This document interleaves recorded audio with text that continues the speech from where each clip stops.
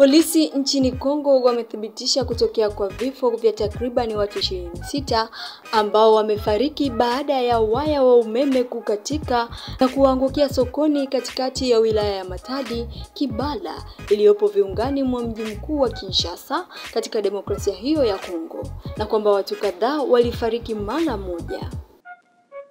Waya huo ulikuwa na viwango vya juu vya umeme na ulikatika ghafla na kuangukia ndani ya nyumba ambapo watu mbalimbali mbali walikuwa wakinunua bidhaa karibu na mji huo mkuu wa Kinshasa Jumatano ya wiki hii. Picha ambazo zilitumwa kwenye mitandao ya kijamii zilionyesha hali baada ya tukio hilo ambapo miili kadhaa ilionekana.